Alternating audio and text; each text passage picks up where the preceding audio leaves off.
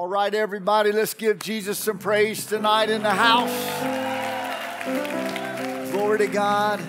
Hey, uh, what a blessing it is to be here. I just want to give the Lord thanks for the uh, trip He gave me to Sweden and the Ukraine last week. I was uh, there, got to speak nine times. Come on now. And the greatest thing was to meet our 20 leaders from Russia. They came, one guy came from eight time zones all the way. He flew to Moscow and then to the Ukraine. One from Egypt came and they told about so many people being saved in Egypt. Literally, it's hundreds of thousands are being saved in Egypt. And just so much going on. And then Monday, I took five flights and flew home. One day, five flights. Some of you ain't been on five flights in your whole life. Five flights. I left Monday morning from the border of Russia, and I was in Baker Monday night. We live in a crazy world, don't we? So tonight I'm really excited. I've been preparing, you know, this last part of chapter six of the Sermon on the Mount in Matthew. We have been making our way through. We finished chapter five. This is the last uh, message on chapter six. Then we do seven for the last four months of the year. But this one is really amazing because we're going to be talking about worry. Look at your neighbor, say, You looking kind of worried these days.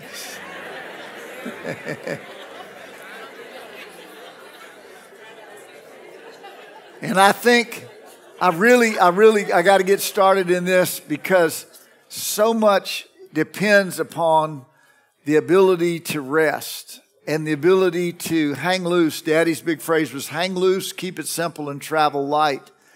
And I just been thinking about Psalm 23. You know, the Lord is my shepherd. He makes me lie down in green pastures. And I don't know if you came tonight with stress. You know, worry is a huge issue. Uh, Dr. Caroline Leaf says that 75%, the American Medical Association said 75% of disease has stress at, at the core of it somewhere. So this is a this is a that's why I call it dis-ease. It's a lack of ease. It's a lack of wor- of of of the peace of God. So tonight's message, I think, really are some perspectives that are going to change you. And let's let's let's go to the Lord in prayer. Let's just ask the Lord to bless us. Father, we thank you tonight, Lord, for Jesus, our great shepherd, who leads us by still waters and restores our soul. And we thank you tonight, Lord, by the Holy Spirit, there's a sense of rest, a sense of peace coming for anxiety, for worry, and for stress. And we just thank you for it tonight. We give you praise, Lord Jesus. You're our example. You walked in great peace and rest here on the earth. And we thank you that we walk in those footsteps in Jesus' name. And everybody said, Amen and amen. Now, if you want to open your Bible to the book of Matthew, chapter 6, uh, Jesus three times said, I say to you, be anxious for nothing. Be anxious for nothing. And I, my, my message tonight is entitled Seven Ways to Take Authority Over Anxiety. And right in this passage, it's only just about seven or eight verses, but boom, boom, boom, boom, boom. The Lord gives us these perspectives and it's, it's such wisdom. And, and so that's, that's what's important to me. And in the last chapter of this book, or the last few uh, lessons, Jesus said, You cannot serve God and mammon. And then he goes right into this issue of worry. I think really the whole God of mammon is behind the spirit of worry. It's behind it. And if you look at our nation right now, people are just, they're, they're so worried about the future. They're worried about this asteroid coming in September. They're worried, and somebody ain't even heard about that, so you hadn't worried about it yet.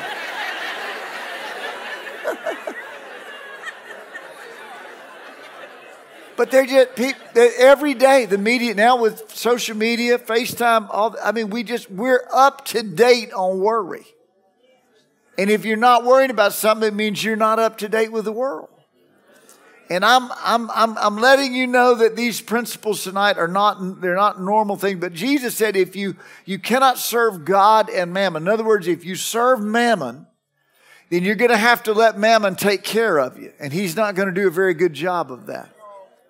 But if you'll serve God, then God is going to take care of you. You know what? The example came to my mind was Moses Iwo over in Nigeria. When we were missionaries in 1976 there, Melanie and I, they had been in a war, the Biafran War, about uh, 10 years earlier. And Moses Iwo, our main guy there, still is our main guy there. He said everything in the whole jungle had been killed. Every animal had been killed. There was nothing. They had stripped it because they had been surrounded and were starving. 10,000 people a day were starving to death in Biafra. And Moses, nobody had anything to eat. Now imagine what this was like. But Moses said he made a fishing pole and he went to the river.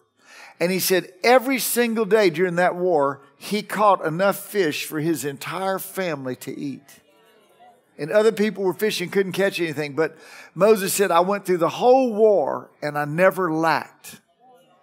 Now you think of Israel in the wilderness, brothers and sisters. He, he, the Lord fed them with millions of tons of manna, millions of tons, and an ocean full of water. You, you get three million people, five or six gallons a day. You're talking now in the millions and hundreds of millions of gallons of water that flowed from a rock for 40 years.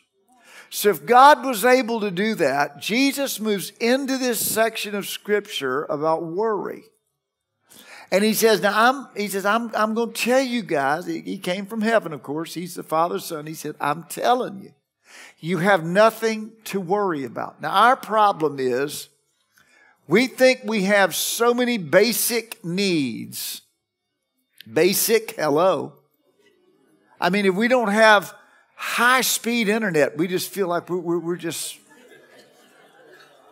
You, you know what I'm saying? And I mean, our clothes, Jesus is going to talk about food and clothing. Clothes, we, we give away more clothes than we have. We don't even know what to do with all our clothes. Food, Jesus is talking about food. We got Food Network, man. What are you talking about? We got shows all day, people eating food and trying this little delicacy and that little. And so we are, I'll tell you what, a lot of our worry comes from our spoiledness. Can you agree with me right there? Many of the things that Americans are worried about have no relevance in any other country in the world. I was just in Sweden and a man from Indonesia was giving the testimony of Christians that are dying there Islamic people are killing Christians in Indonesia right now, cutting off limbs. And I saw pictures of, of amputees that were praising God that they, they gave, they gave their life. And here we are. We're concerned that it's got too much hot pepper on it or something. And let me, let me just, every worry in your life, back up and just start putting it through the filter of reality. Oh, my internet's not high, high speed enough. Dude, you didn't even have the internet till 15 years ago when Al Gore invented it. Isn't that right? you didn't even have it. So back up a little bit. Quit, quit being so spoiled. And Jesus is only going to talk about food and clothing in these, in these nine verses. In other words, to him, everything else is not worth worrying about. What's your problem? Get over it. But food and clothing, Paul said in 1 Timothy 5, we brought nothing into this world. And it is certain we cannot take anything out of the world. You're not leaving with anything. When you leave for heaven, or if you don't know the Lord and you go to hell, believe me, you really got some worries then, dude. but if we have, say the next two things food and food and clothing. That if we have food and clothing, this is Paul writing, 1 Timothy 6. If we have food and clothing, with these we will be content. In other words, let's not start talking about all of the other things. Do I have an iPod? Do I have a laptop? Do I have a car? Do I have tuition? Let, let, let, all of those things are important, but you know what? Nobody died. If you don't have the rose colored iPhone, nobody died, okay? Quit worrying and quit stressing quit about things that don't matter. All he said is if you have food and clothing, and I can look at most of you and tell you have plenty of food.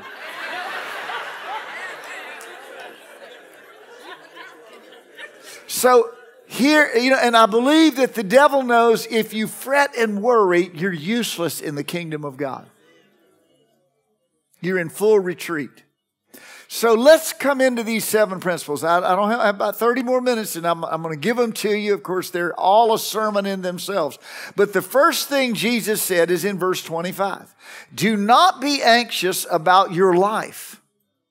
Is not life more than food and the body more than clothing? So he's, he's going to talk about food and clothing. He said, by the way, the fact that you are alive is more important than food. Really. I mean, if you're breathing, you're here in church tonight, you're not in the hospital. Can I say, can you say amen to that? You're not in jail. You're, you're in church. You drove a car here, best I can tell. And so he said, life, life itself is more than food. And the body the fact that you have your body and your ears and your eyes and all of the functions and systems of the body are working, your body is more important than your clothing.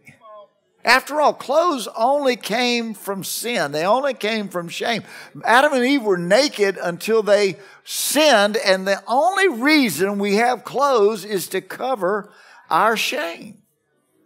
So he said the body is more than food and, and, and more than clothing. So here's the first principle God gave us life, surely He can support it. Put that in the blanks. The human body, follow me on this first little, little point Jesus is making. The human body is proof that God will provide. I mean, why would God make us with a mouth, nose to smell food, mouth to taste food, and a stomach to digest food and a cellular structure to grow with food? Why would He, the complex system of, of, of ingestion and digestion, why would He do that and then not give you any food? Really? I mean, that would be like a half a creation. He doesn't stop halfway in his creation. He made us to eat and he made us to need clothing. So that's the first point to me is if God gave us life. And how many of you believe that God actually is the giver of life? You believe that? If he gave us life, why would he not give us the fuel we need to, to cause that life to happen? Okay, that's point number one. The Lord Jesus is teaching us. Number two, I'm just going to touch on these. Birds live day to day and they do just fine. This is verse 26. He said, Look at the birds. They neither sow nor reap nor gather into barns now, by the way, before I keep going, somebody said, Well, Cena, there it is right there. I don't even need to work. I had a guy say that. Because the scripture says that birds don't sow or reap or gather into barns, yet your father feeds them. So he says, I don't need to work. All I need to do is have faith. But have you noticed how hard birds work? Have you noticed that? They work, they're out there scratching, they're pecking around, they're building their nests, they're carrying sticks. Birds work. So God, I, I have not noticed that God delivers food to birds. Come on, now say amen. amen. God don't deliver food. In fact, you said, well, he delivered food to Israel in the wilderness. No, he did not. He dropped food. They had to get their hips out of bed and go get them some. God is not going to give you food. He's going to give you the ability to generate food. It says He gives you the power to make wealth. Get your rear end out of bed and go get you a job. God has provided you a job. J O B. Come on, tell your neighbor J O B. Birds, birds work, man. Go, go, watch them. They're pecking all over. Look at them chickens out in the chicken. You think chickens are laid up in the hen house just? Yes, you're right. Put my scripture back up there. It says that the birds, they do not reap or sow. That's true, or gather into barns. But, but yet your heavenly father feeds them and feeds in the sense of he gives them the ability to go get it. Are you not of more value than they? Now, let me just point out birds are unable to lay up food in the winter. They cannot store food. That's right. And the Father gives them food in the winter. See, He provides. Where do they get food in the winter? When it's 20 feet of snow somewhere, they still survive. How do they survive? God provides, even in winter seasons. God's going to provide. Jesus didn't have tax money one time. He said, That's all right, go fishing pull up a fish and see what's in its mouth. God has ways and means. He's got sources that you don't know anything about. Even in a winter time of life, God is going to lay out your corn right in front of you. You're going to find it. That's right. Because he said, Your heavenly Father knows that you need it. Now, birds only have a creator, they don't know God as their Father. They know him as their creator. You know God one level higher than a bird. You know him as Father. I am a child of God. He is my heavenly Father. If he would provide for a bird, hello, why would he not provide for the beautiful people sitting in this room tonight? Really?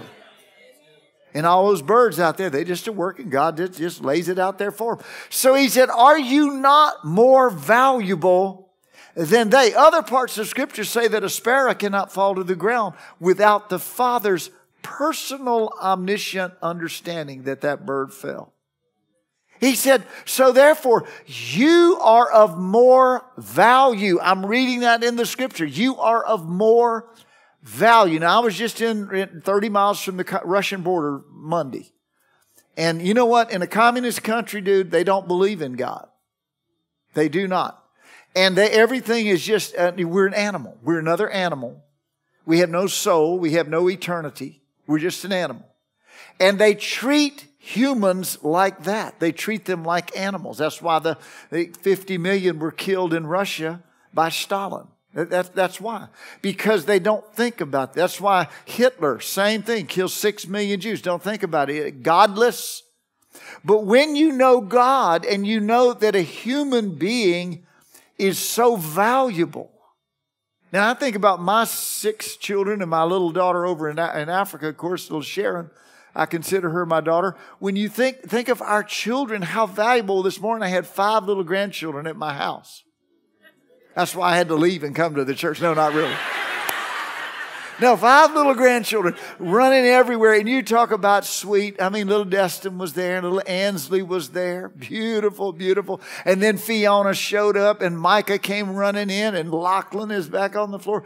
Well, that's just five of my 11. Come on now. But they're so valuable. There's not anything they could need that I would not be concerned about. Well, see, this is God. So we look at the birds. Number three, worry is useless to prolong your life. Just slip it in the blank there. Worry, it, it will not prolong your life one second beyond when the Lord knows your time is up. Now, I'm going to give you a sobering thought right now. God knows when your last day on earth is. He knows.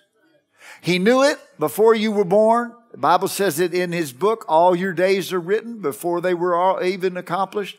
He already knows. Now you are not going to prolong beyond that moment. It's going to happen. It's already seen. He's foreknown that. It's, it's, it's coming. Why would you worry about when that day is? See, you cannot prolong. I think about Steve Jobs. He was a multi-billionaire, created the Apple company and he had a liver issue, waiting on a liver transplant. He died. Well, you know what? It didn't matter how much money you, he had. He could not prolong his life one day beyond that sickness. He could not do it. So Jesus said, now we're in verse 27. He said, which of you, by being anxious, can add a single hour. Now, the King James says a cubit, which is a span.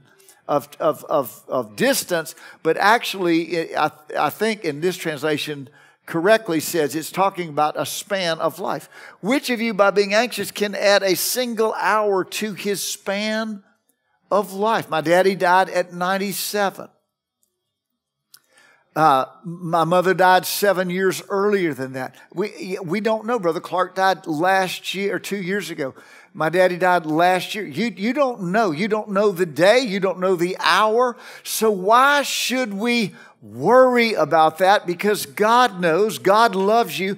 And the other thing is, you cannot prolong your aging either. Now, I know there's all these techniques to prop this up and to stretch this back.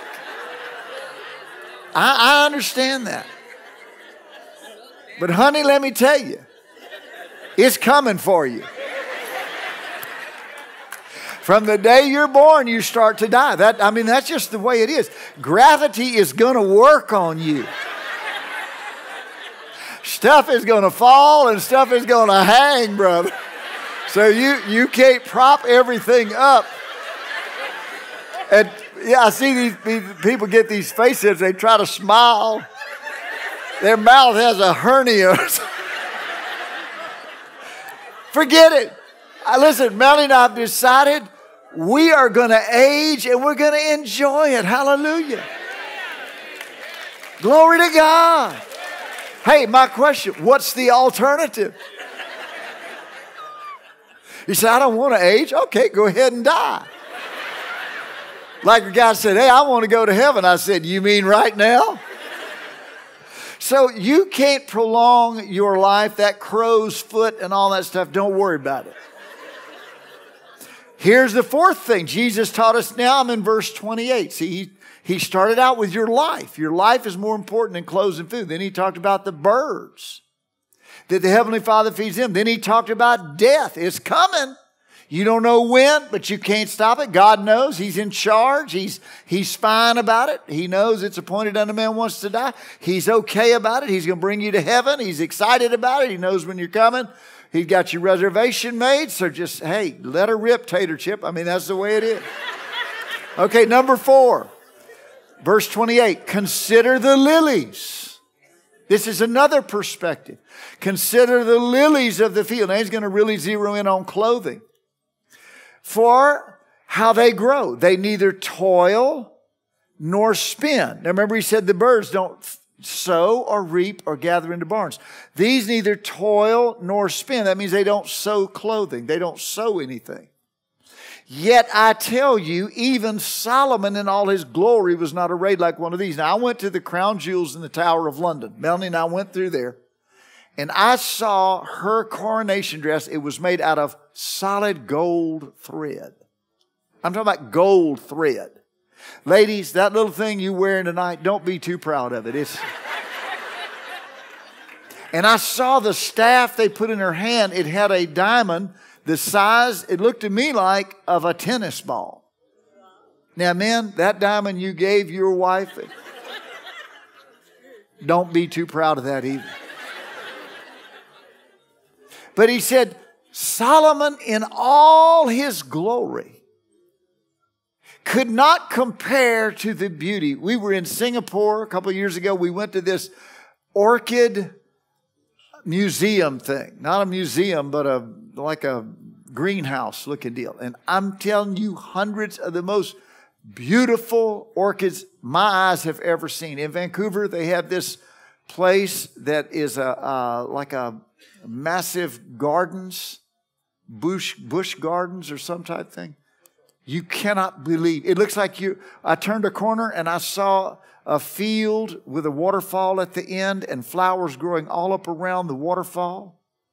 I'm talking about thousands of variety. I, I, I just, I couldn't believe people have gone to heaven and had visions of heaven and then come back to this earth. They say the flowers there are the size of number three wash tubs up there.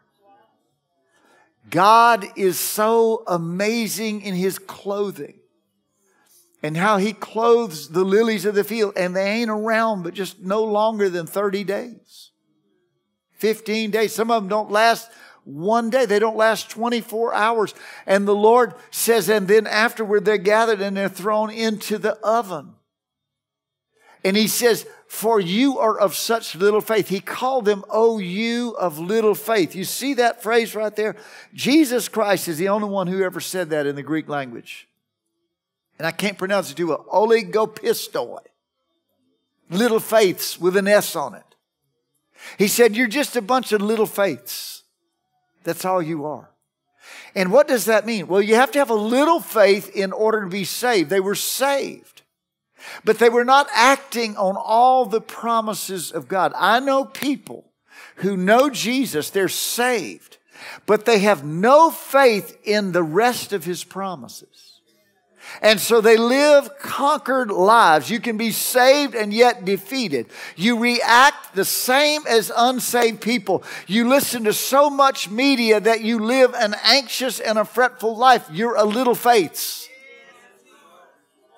And then we lay awake for hours just going over and around in circles over the same miserable little details about some person or something. Just hours and hours and hours. You bought this, now you're worried about it. Somebody said people buy on the layaway plan and then they turn it into the lay awake plan.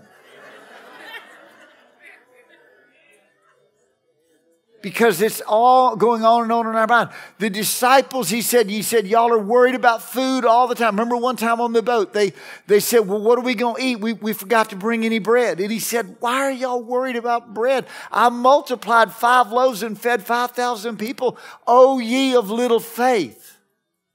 When a person is a worry person, there, I don't care if they're Christian, I don't care if they've been in church 50 years, they're a person of little faith. Are you getting this right now? And so it's important that we that we not be like Peter who had little faith or any of those others that we say, "Lord, if you can clothe the lilies of the field, I believe you will keep my human body warm and clothed with what I need to protect me from the elements." Now, when we get into whether it's rayon or polyester or silk, I don't, I don't think God really cares. Go get you whatever you want down at TJ Maxx. I don't think that matters to him. But can I tell you what matters? He does not want his child to be cold. Come on, say amen. amen.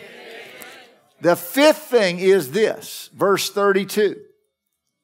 The Gentiles seek after all these things. Gentiles, that's heathen. And your heavenly Father knows that you need them all. Now you'll notice he uses the Gentiles as opposed to your heavenly father. Gentiles have no heavenly father. Put that in the blank. This is a perspective.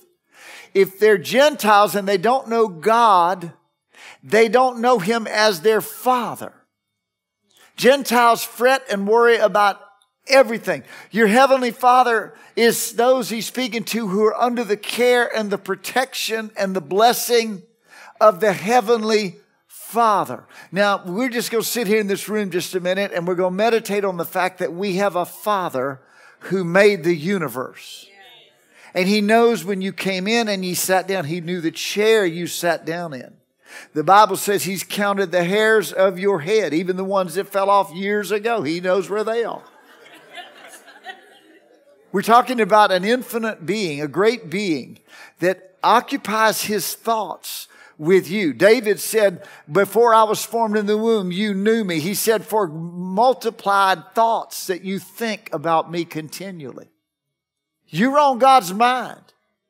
You're on God's radar. You know, I've brought children to a playground and they're out playing and they're enjoying the swing and the slide and everything. But let me tell you something. Papa is sitting there on the bench and I am watching over my kids. And if I see one start to get a little hurt or they get to fall off of this, whatever, I get up and I make my way over there to them because that's my child. And if you get over close to them and I don't know who you are, and you look like Chester the molester or something, I'm coming near. That's mine. And I remember we lost Joel one time at the top of an escalator. Melanie will remember this. And we could not find that little booger had gotten under some clothes in a clothes rack. And man, I mean, we went down that escalator and up again. We lost him again in Sears one time. And all it takes is just, you know what? So the Father, the Heavenly Father, when you, the Bible says there will never be anything in the depths of your heart that He does not know about. There's not one thing in the very bottom recesses of your heart that the Heavenly Father does not know everything about. I have watched God provide for me in my life things that I had never even expressed to Him. How many of you would raise your hand and say, God's been really good to you? I mean, Melanie and I look at each other sometime at the things He's given to us and provided for us, and we just say, How did God know? How did God know that we would just love this thing so much? It's because, and I'm going to tell you, past you men, something. One time the Lord gave us something. He said, This is not for you. I'm giving this because of your wife. I'm giving this to her. He gave her a gift. Unbelievable. Well, see, you, you have to understand this is the fifth thing. The heathen don't know God that way. Ask a Muslim. They only know a God of fear and anger and wrath. They have no idea. No, He's tender. He cares. He loves you and He'll, He'll meet any need that He feels is in the bottom of your heart. Number six. I'm just, I'm just giving these as quick as I can. Verse 33 Kingdom focus drives out worry. Put that on your notes. Kingdom focus. Verse 33 Seek first the kingdom of God and his righteousness. And I love that conjunction right there because if you will just first seek the kingdom, get the whole thing about life is the kingdom of God and that you're going to walk in holiness and purity and please God and all of that stuff. You say, well, that ain't going to get the bills paid. Well, that is not what this verse says. It says if you'll focus on expanding the kingdom of God, every morning you wake up and say, Lord, what can I do to move your kingdom forward today? That's what I pray every day. What can I do to move your kingdom forward today? It says, and all these things will be added. Added in the Greek is a word that means something that is added to you or thrown in for good measure. When you went to the market, you bought wheat and they put you a container of wheat on the balance and they fill the balance and it filled right up to the right measure and now it's perfect and that's what you get. But then he would take a handful of something, some wheat, and he would pack it on the top. So it was above the measure. He said, Seek first the kingdom of God, and for good measure, God's going to throw in all your other stuff and add it to you. Just for good measure. And can I tell you, when He adds, brother, He adds real good.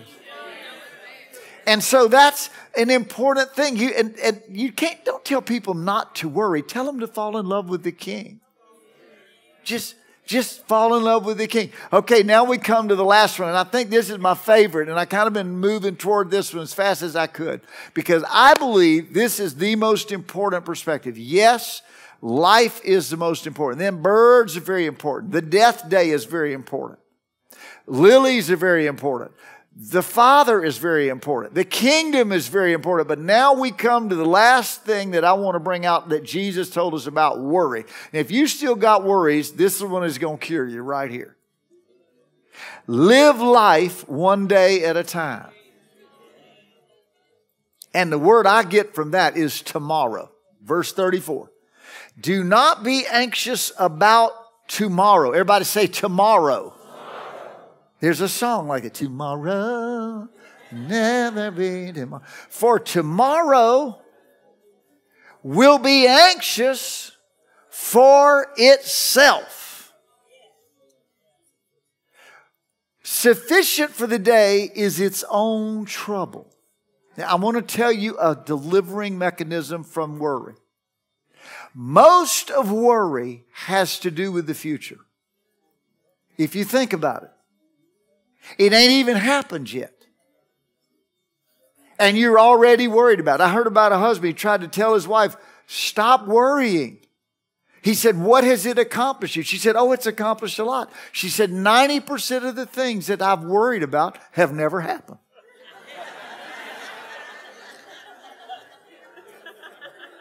Hello? But it's not because she worried, it's because they weren't going to happen anyway. Most of the things that you're worried about right now will never, ever happen. And some people worry continually just about the future. You, you look at them and what, where they're living. They have everything they need. They have this, they have that. You can see it, but they can't see it. All they can talk about is, am I going to have enough tomorrow? What about next week? If you say, oh, it'll be there tomorrow. Well, what about next week? Well, then what about next year? And, and people stretch their worry out as far as they possibly can. Worry has a very active imagination. I've, I've, I've seen that. You can think yourself into a, an absolute frenzy over nothing. It's nothing.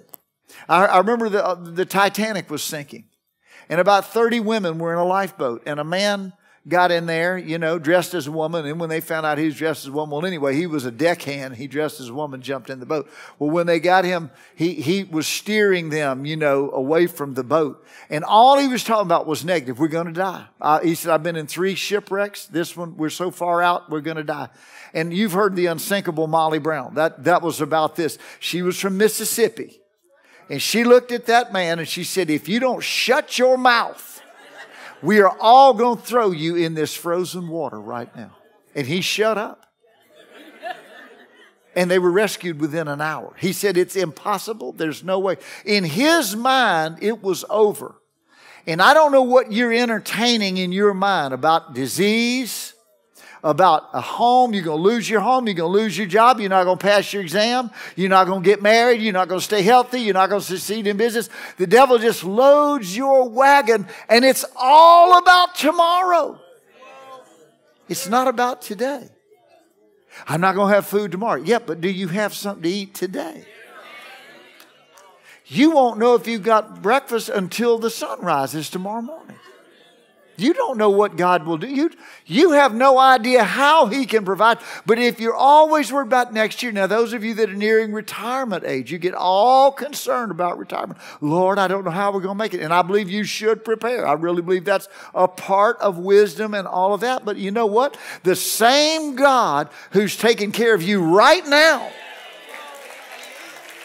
As I remember in the scripture, it says, I've never seen the righteous forsaken or his seed begging bread. Never. So you got to make up your mind that most worries never materialize. I heard a great statement. They said most people are crucified between, between two crosses, two thieves. One is regret from their past, and the other is worry from their future and it destroys their life. Regret or worry, either one. Live for today. I need grace to face today. Jesus Christ is the same yesterday, today, and forever. He'll be there to meet you tomorrow when the sun rises. So, this is a critical, to me, this is great. I know I could worry tomorrow. I'll have a whole fresh pack of troubles and things. Jesus said, sufficient for the day is the evil thereof. My daddy told me years ago, Larry, don't borrow trouble. I said, what do you mean, Papa? He said, don't look ahead at what might happen. Enjoy what is happening right now. Now, let me close with this illustration Charles Spurgeon gave. It's been a good, good night, hasn't it? I, I've enjoyed this. Let me close with this. Charles Spurgeon said, You've heard the story of Leonidas, you know, the 300, the movie King Leonidas. He held off the Persian troops of King Xerxes, and they were had them outnumbered like hundreds of thousands. Only 300 men held off all these hundreds of thousands. How did they do that? Well, if you hadn't seen the movie, they were on the plain, and King Leonidas put his 300 men in a very narrow little passageway that all those soldiers had to pass through. Now, if he'd have taken his men and gone out in the plain and 300 against 100 million or however many what it was, you know, thousands and thousands, they would have been slaughtered within minutes. But because they positioned themselves in that narrow passageway, every soldier of that big army had to pass through that little small wedge, that little small place. And they held them off for a long, long time because they took them one at a time. Now, let me just tell you, you are positioned right now, tonight. You cannot go out and fight all life's battles at one time. You cannot do that. You are going to stand in that small gate and you're going to take those devils one at a time. And you know what that passageway is? That's every day.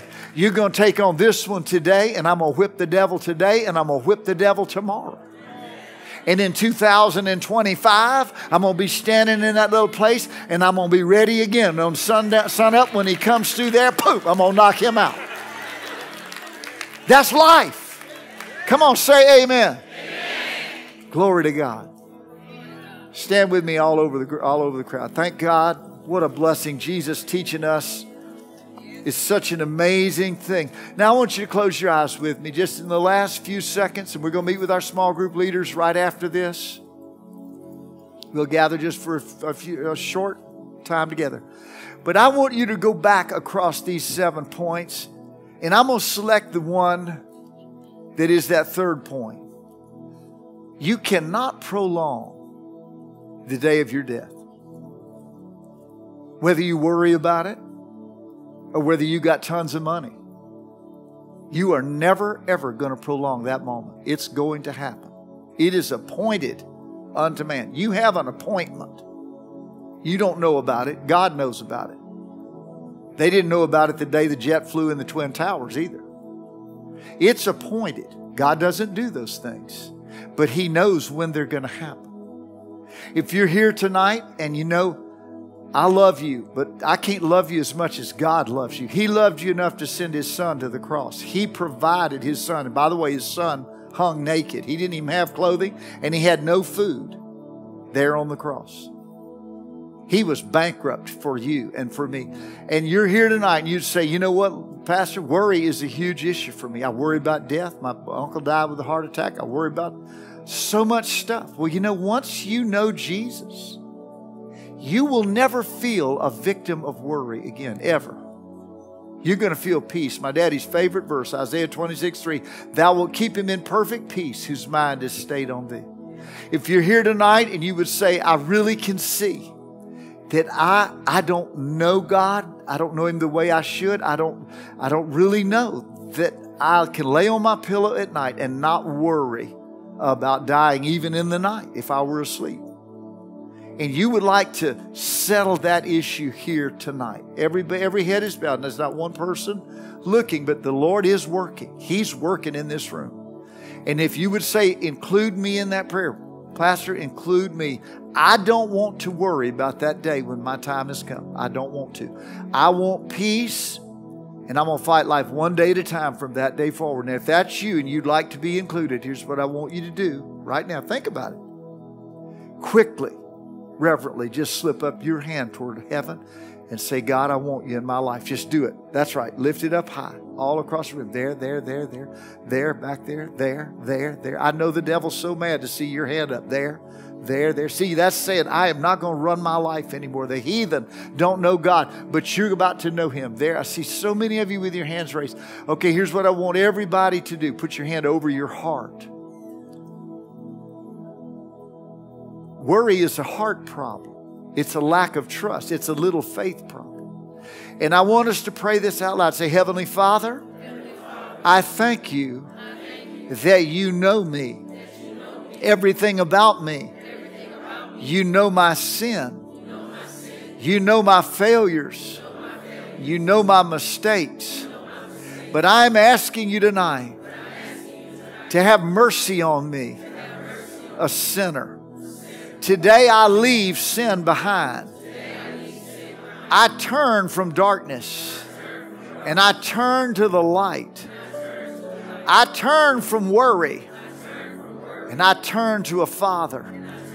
I receive you, Jesus. Come into my life. Give me peace, peace like a river. Cover my life. I give you my life. I'll not be afraid.